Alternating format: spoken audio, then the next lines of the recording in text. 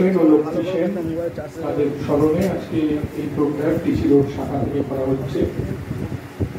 অনেক কথা বলার নেই। আমাদের স্বাদ অনেক, কিন্তু সাধ্য কম। আমাদের স্বাদ অনেক যে আমরা অনেক মানুষকে যদি মানুষের মুখে একটু হাসি ফোটানো যায়, একটু পুজোর সময় সব মানুষ যাতে ভালো করে থাকতে পারে, কিন্তু আমাদের সাধ্য কম।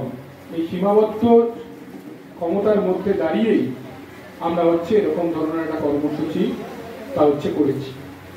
একদিকে দিল্লির সরকার এবং রাজ্যের সরকারের কারণে বিজেপির সরকার এবং তৃণমূলের সরকারের কারণে জিনিসপত্রের দাম, মূল্য বৃদ্ধি, আকাশ ছোঁয়া মূল্য বৃদ্ধি।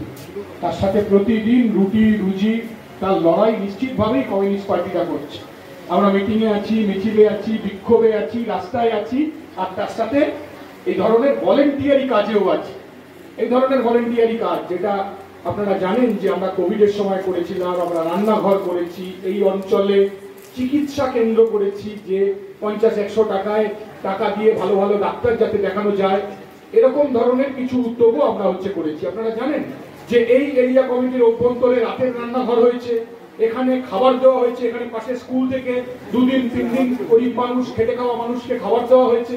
আবার ওপারের বেহালায় আমরা শ্রমজীবী ক্যান্টিন করেছি। আমরা চেষ্টা করেছি। আমরা পরিকল্পনা করছি, আমাদের এই এরিয়া কমিটিতে পরিকল্পনা হয়েছে, আমাদের অল্প বয়সী ছেলেমেয়েরা, তারা বিনামূল্যে প্রেশার মেপে দেবে, বাড়িতে গিয়ে প্রেশার মেপে দেবে। এরকম নানান ধরনের ভলেন্টিয়ারি কাজের পরিকল্পনা আমরা করেছি। কিন্তু আমাদের কথা হচ্ছে, এই কাজটা করার কথা হচ্ছে দেশের সরকারের আর রাজ্যের সরকারের। আমি আমার কথাকে দীর্ঘ করব না, আপনারা অপেক্ষা করছেন রবিবারের সকালে। নিশ্চিতভাবেই ভারতের কমিউনিস্ট পার্টি মার্ক্সবাদী বামপন্থীরা তারা এই ধরনের কাজ করে। ভারতের গণতান্ত্রিক যুব ফেডারেশন, তারাও এই ধরনের যুব সংগঠনও, তারাও এরকম ধরনের কাজ করেন। আপনারা আসুন আমাদের পাশে। আগামী দিনের আন্দোলনে, বিক্ষোভে এবং ভলেন্টিয়ারি কাজে সবেতেই আপনাদের যদি পাশে পাই, তাহলে নিশ্চিতভাবেই আমরা আমাদের এই কাজকে সামনের বছর দ্বিগুণ, তিনগুণ হচ্ছে করতে পারব।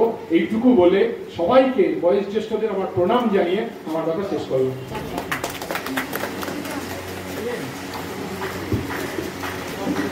এবার বক্তব্য রাখবেন আরেকজন জেলা কমিটির সদস্য, কমরেড গোপাল বাড়ি।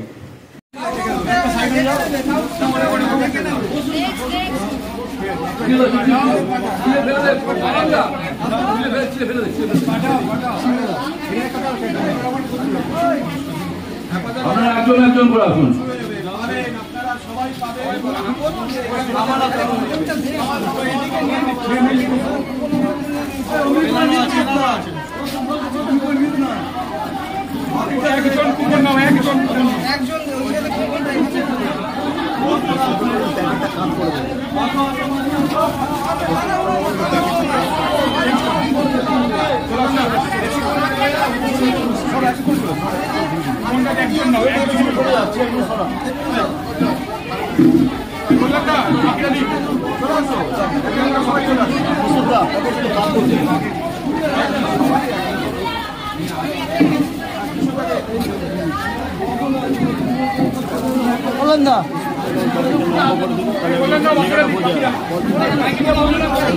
আরে এটা উত্তর দিতে বারণ করলাম তোকে বললাম